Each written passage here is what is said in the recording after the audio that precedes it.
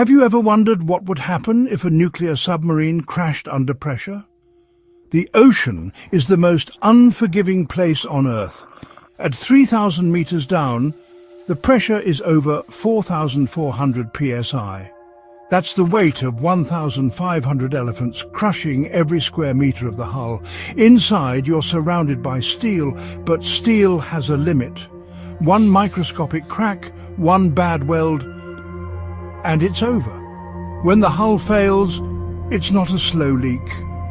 It's instant annihilation. The submarine implodes in less than one one-hundredth of a second, the speed of sound.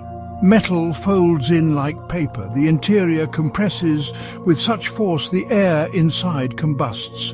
The human body doesn't even bleed. It just vanishes.